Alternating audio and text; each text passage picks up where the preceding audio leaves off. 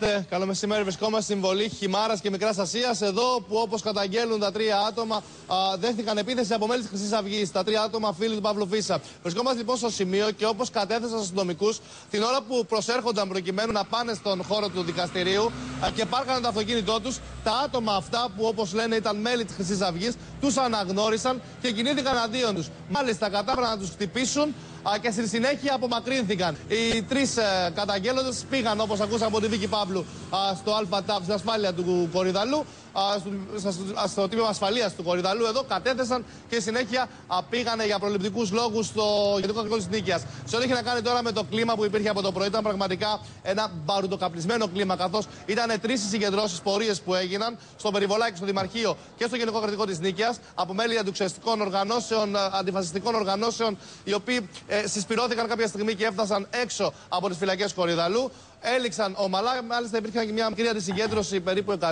ναι. μελών της Χρυσής Αυγής. Όλα αυτά βέβαια ολοκληρώθηκαν μόλις έγινε γνωστή η είδηση της αναβολής της δίκης για τις 7 του Μάλιστα. επόμενου μήνα. Μιχάλης...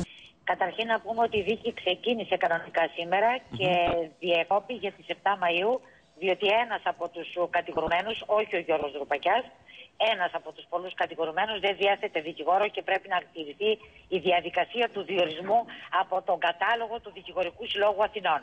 Τα θέματα που αφορούν τον τόπο και την καταλληλότητα της αίθουσας τέθηκαν μέσα στο δικαστήριο και από το συνήγορο της πολιτικής αγωγής, τον κύριο Παπαδάκη, και από τον δήμαρχο του Κορυδαλού. Η πρόεδρος όμως του δικαστηρίου, η κυρία Λεπενιώτη, ε, ανέφερε ότι στις 7 Μαου με την επανέναρξη της ακροματική διαδικασίας θα ακούσει τους φορείς και θα αποφανθεί το δικαστήριο για το τι πρέπει να γίνει. Πάντως, από την παρέμβαση της εισαγγελέως της έντρας της κυρίας Οικονόμου διαφάνηκε ότι η δίκη προς το παρόν θα παραμείνει στον Κορυδαλό ναι. μέχρι νεοτέρας και μέχρι ότου διαμορφωθεί η ειδική αίθουσα πίσω από το εφετείο της Αθήνας η οποία αυτή τη στιγμή είναι υποκατασκευή. Τώρα, επί της ουσίας τη δίκη αυτή και στην είδηση που βγάζει η, η πρώτη μέρα αυτής της πολύκροτης δίκης. Το ισχυρότερο, το σημαντικότερο γεγονός της σημερινής διαδικασίας είναι το γεγονός ότι υπήρξε ηχηρή απουσία της ηγετικής ομάδας της, των κατηγορουμένων της Χρυσής Αυγής, Μιχαλολιάκος, Κασιδιάρης, Γερμανής, Παναγιώταρο κλπ, οι οποίοι επέλεξαν να μην παραστούν στο δικαστήριο την πρώτη μέρα της δίκης και να εκπροσωπηθούν όσοι έχουν το δικαίωμα από τον νόμο με συνηγόρους.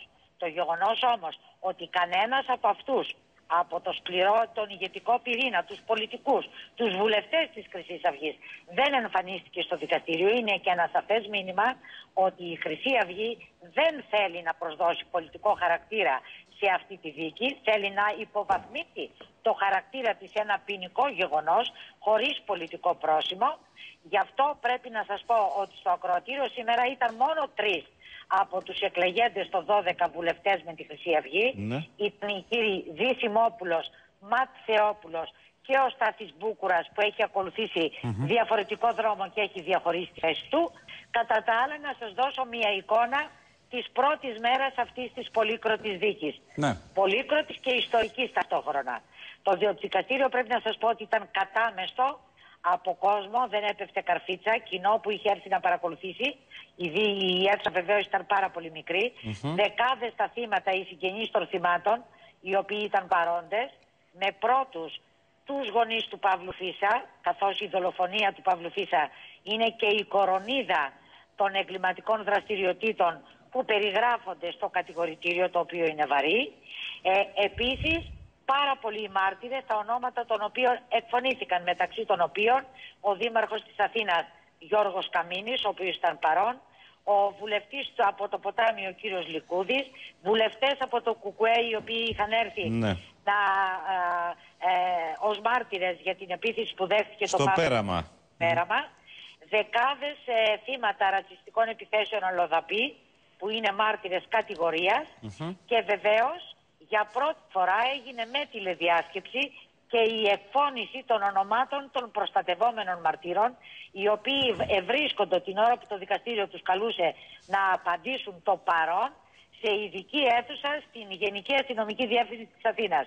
Η πρόεδρος με κωδικούς ε, ε, ε, περιέγραφε τον κάθε μάρτυρα, ναι. ε, προστατευόμενος Α, Β, Γ, Δ και ε, πέντε τον αριθμό και αυτή με αλλοιωμένη φωνή, έτσι την ακούγαμε εμείς στο δικαστήριο, ε, απαντούσαν παρόν και οι πέντε ήταν παρόν και με αυτό τον ίδιο τρόπο, με αλλοιωμένη φωνή και από απόσταση, θα καταθέσουν όταν θα έρθει η ώρα να καταθέσουν στο δικαστήριο.